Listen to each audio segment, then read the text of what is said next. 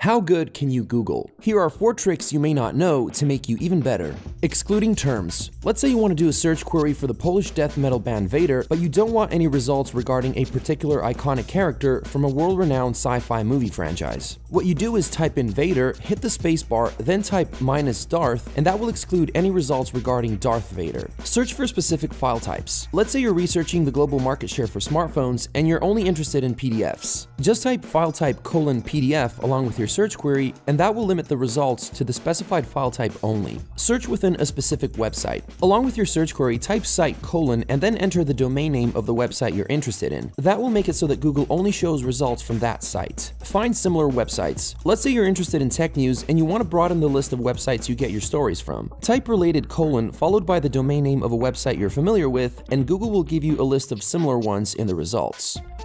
Know any other Google search tricks? Let me know in the comments.